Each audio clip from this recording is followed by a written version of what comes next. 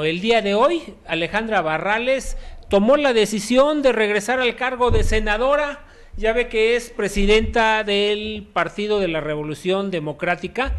Y déjeme decirle que en las bancadas de los partidos, para poder tener una, un grupo parlamentario como es el del PRD, por lo menos tienen que tener cinco integrantes y en la actualidad nada más tenían cuatro, entonces la necesidad de que Alejandra Barrales se regresara a la Cámara de Senadores para poder constituir la bancada del PRD y en algún momento dejar de dar al lado a los Barbosa, a los Morenos y que hagan que hagan su sus líos por otro lado, bueno, pues tomó la decisión Alejandra Barrales de regresarse al Senado. Pero los detalles los tiene Francisco Montaño. Francisco Montaño, muy buenas tardes. Buenas tardes, Eduardo. Pues sí, quiero comentarte que la novela del PRD todavía sigue y tiene varios capítulos.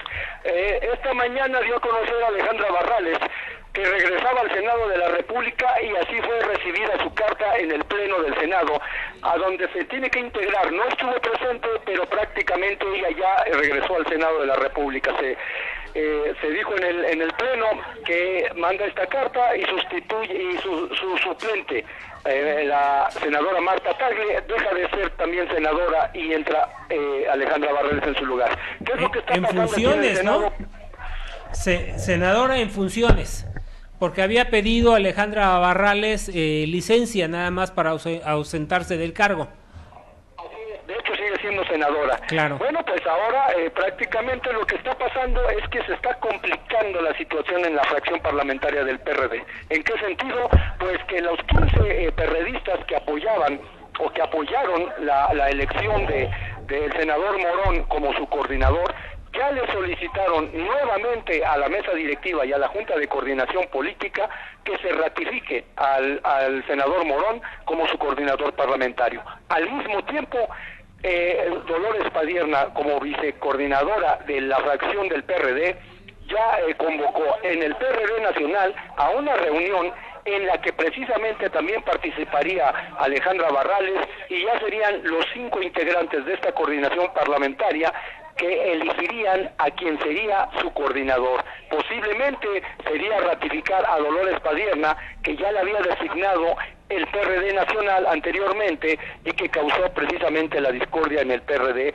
por lo que incluso tuvo que renunciar Miguel Barbosa en su momento.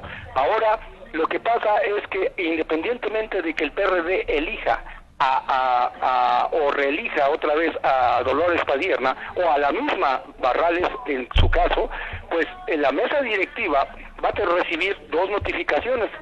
Va a ser precisamente la de los 15 eh, eh, senadores del PRD que apoyan a Morón y va a ser la nueva designación, si es que así lo considera el CEN del PRD, de nuevo coordinador, según ellos, en la fracción parlamentaria del PRD en el Senado, Eduardo. Hay que ver qué es lo que dicen los estatutos de la, del Partido de la Revolución Democrática, ¿no?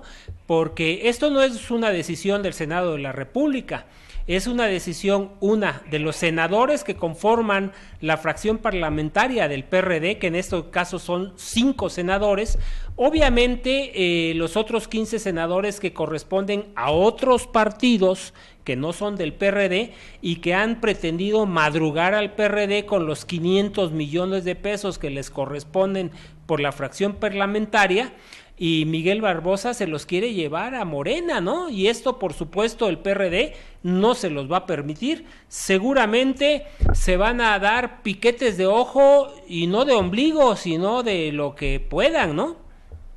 Así es, Eduardo.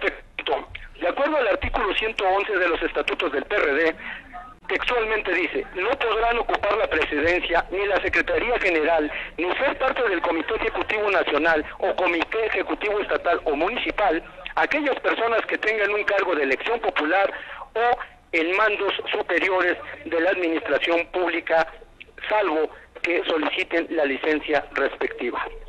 Bueno, ya que está regresando Alejandra Barrales, seguramente renunciará a la presidencia del PRD y nombrarán a un miembro del PRD, ¿no? Porque a Barbosa no creo que le dejen esos 500 millones de pesos para llevárselos a Morena o a cualquier otro lado. Muy bien, muchísimas gracias Francisco Montaño por la información y por tus comentarios. Seguimos pendientes, Eduardo. Pues así están las cosas en el Senado de la República y un capítulo más del PRD. Mire, lo que está en disputa son 500 millones de pesos que si el PRD se descuida se van al bolsillo de, de Andrés Manuel López Obrador y con eso sí tendría capital, por supuesto, para aplastar a lo poco que queda del Partido de la Revolución Democrática. Vámonos a breves estatales. Breves estatales. Juzgados federales otorgaron la suspensión provisional a dos ciudadanas de Puebla que interpusieron sendos recursos de amparo en contra de la empresa concesionaria del servicio de agua potable y alcantarillado Agua de Puebla para Todos. Al señalar que Veracruz es un fosario, el padre Alejandro Solalinde, Premio Nacional de Derechos Humanos, aseguró que la administración actual no resolverá el tema de la inseguridad que se vive en la entidad. Sacerdotes y obispos sabían de estos hechos y no los denunciaron, añadió. Cientos de automóviles resultaron quemados durante un incendio en el corralón de la Agencia Estatal de Investigaciones de la Fiscalía General del Estado de Oaxaca. Y finalmente con el 30% en tratamiento de aguas residuales, Tabasco se ubica por debajo del promedio nacional en el proceso de someter al vital líquido a procesos físicos, químicos o biológicos con el objetivo de eliminar reducir su carga contaminante. Para el punto crítico, Miguel Muñoz. Bueno,